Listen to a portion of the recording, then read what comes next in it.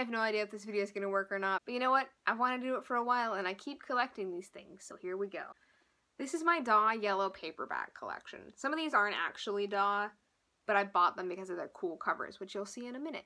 From 1970 whatever to 1980 whatever, I'll put it actually down below, DAW Books published a lot of sci-fi and fantasy books, and a lot of these were first prints of really famous or future famous authors. Whenever I look for these books, I keep finding Marion Zimmer Bradley. I'm like, oh god, oh, I don't want to touch it. I'll link down below as to why she's the worst. I, I just, whenever I see these in a bookstore, I have to buy them. And there's always several, so I buy whichever one has the coolest cover. And I've never paid more than like $2 for these. So I'll start with C.J. Cherryh, The Serpent's Reach. Look at that. The constellation of Hydrus, known as the Serpent, is compact and obscure as seen from Earth's sky. Yet in the great era of interstellar colonization it remained obscure, for it was under strict quarantine, harboring an intelligent race, powerful, alien, and inhuman. Well, you'd think inhuman because they're on another planet. It's about a girl named Rain. Yeah, good stuff.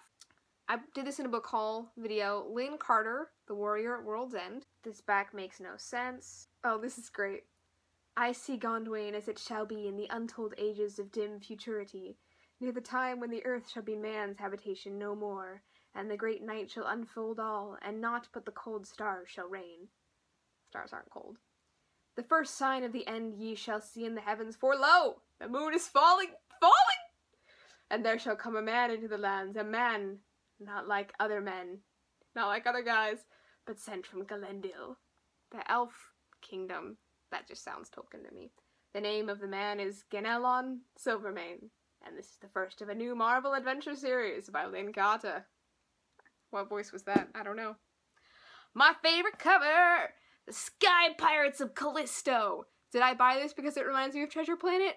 Absolutely. This is also by Lin Carter. In the foreword, Lin Carter's like, oh yeah, this Vietnam guy told me this story. No, you made it all up.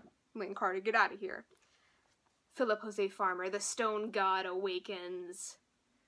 He was only a 20th century scientist whose experiments with atomic stasis had petrified him. But when he was accidentally unpetrified millions of years later on a radically changed Earth, Ulysses Singing Bear was worshipped as a god by people no longer human.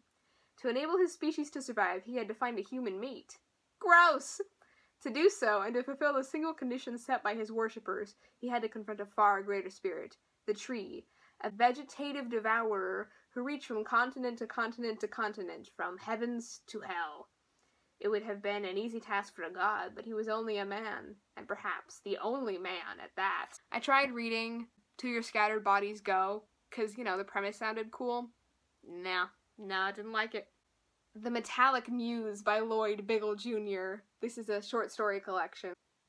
On the back it says, The Dangers of Fiddling with the Future glorious. Oh, I just got this one. Stuart Gordon, Three Eyes. Look at that. That classic swooning lady with a gray man. This one actually sounds cool. In a warped world, Scarbloom Valley seemed an exception. There crops grew tall, and the superstition-ridden farmers gave thanks to the unseen Elder Ones with a human sacrifice each year. So I'm getting Nausicaa of the Valley of the Wind with um, Shirley Jackson vibes.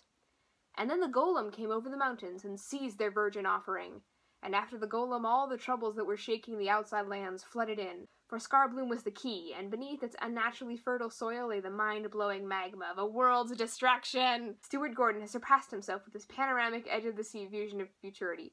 There's that word again, futurity. I've never heard that word before today. Another new one, Silas, the panorama egg. Look at that! His name was Archer, and he thought he was an ordinary man. The collectors of panorama eggs knew better for Archer was such a collector, and there was a very special find awaiting him, the panorama egg that contained a world.